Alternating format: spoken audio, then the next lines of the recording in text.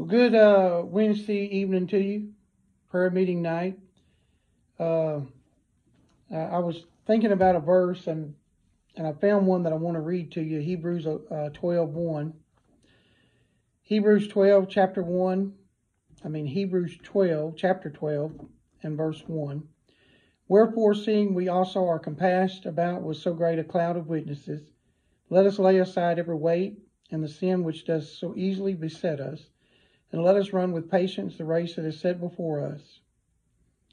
And verse 2 looking unto Jesus, the author and finisher of our faith, who for the joy that was set before him endured the cross, despising the shame, and is set down at the right hand of the throne of God. As I was thinking about today, is the election is is still going on, and and we're still praying. But you know, no matter what happens today, no matter what happens, either person, either our president stays our president or we have a new president, no matter if that which whichever one happens, we still are called by God to just carry on the race, carry on God's will. Um, and hope hope for a good outcome today, uh, but we shall see.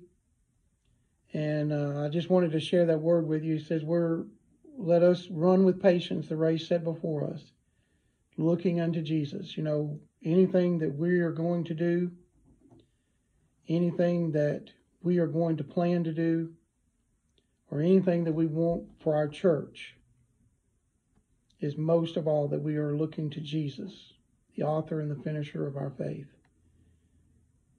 He's made it all possible for us to worship Him and serve Him. And we're going to keep doing that and standing on His word. We love you.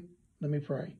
Father, we just come to you tonight. We thank you for, Lord, uh, this day that you've given us. We thank you for this time, Lord, that we can bring our prayer requests and our petitions, Lord. And we lift up those who have been mentioned uh, for Mr. Steve, Mr. Joe, and Miss Terry, who's having the problems with her back. Lord, we just pray that you be with everybody, especially Mr. Steve with his treatments that he's having now. And and Lord, we know that you have the power over cancer and over problems that we have today, and we place them in your hands. And for Mr. Joe, to continue to get him well, that he can have his surgery, Lord, and for Miss Terry, that they can find out what's wrong with her and the causes of the pain that she's having. And we just place them all in your hands. We place America in your hands today, Lord. You know what what America needs today, and we know what America needs today. And more than anything, America needs to turn back to God and God's Word. Lord, help us, we pray, as we ask these things in Jesus Christ's name. Amen.